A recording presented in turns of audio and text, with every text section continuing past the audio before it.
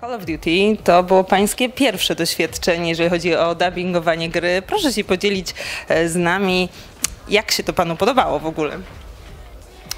Powiem szczerze, była to dla mnie taka emocja wielka, bo wiedziałem, że ktoś to będzie oglądał, będzie słuchał. Eee, Więc chciałem nie tyle wypaść dobrze, tylko wypaść dobrze w tej roli. E, Żeby zachęcić ludzi, którzy interesują się, szczególnie młodych ludzi, do gry, bo każda, jaka by nie była, ona bardzo rozwija intelektualnie. A jesteśmy już na etapie takim, kiedy przechodzimy już z tego XXI wieku gdzieś tam głębiej, głębiej w przyszłość, więc tę przyszłość sobie musimy jakoś wyobrazić. A czy pan sam gra w gry? Nie pani, mam takiego fajnego wnuczka sześcioletniego, który zaczyna mnie wciągać w to, zainteresowywać, ale muszę się od, do, tego, do tej roli z kolei przygotować, wie pani, bo jestem jako dziadek jakimś tam autorytetem, a to raptem nie mogę e, zawieść go.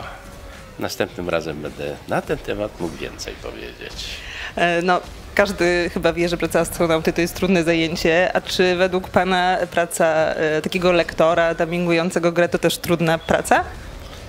Wie pani, ja dopiero wtedy zrozumiałem, że to jest bardzo trudna praca, bo aktorzy to mają na co dzień, mają to we krwi. E, Ja w tej roli występowałem po raz pierwszy, no więc e, nie czułem się początkowo dobrze, ale później, kiedy poznałem, że ten tekst jest jakiś taki bliższy dla mnie profesjonalnie, no to się rozluźniłem chyba.